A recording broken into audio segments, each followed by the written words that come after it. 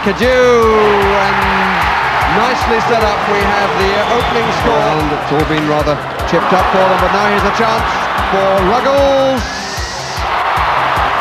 Follow up. And this sums up the problems if you're trying to play Cardiff. As you said, they're having difficulty getting it out. They're not showing it forward, and they're not breaking out as a unit. And they're not getting it away, and here's McEwen, and that's the second of this period. Ian Cooper has got problems here, the Seahawks. They really do have to get their game together, whether they could be out of it. That's another one. Stephen Cooper, the scorer. McEwen still waiting. They've got a man over on the far side. Cooper, man coming in. Cadieux, and that's another one. They go to Hilton Ruggles of all people. One on one. Goes for the shot. Gets the rebound and scores. Stephen Johnson with the carry.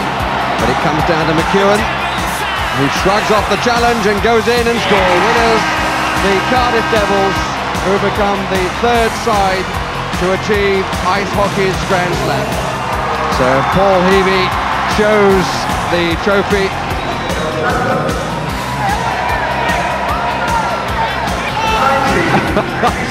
Steve Cadieux uh, suddenly has white hair.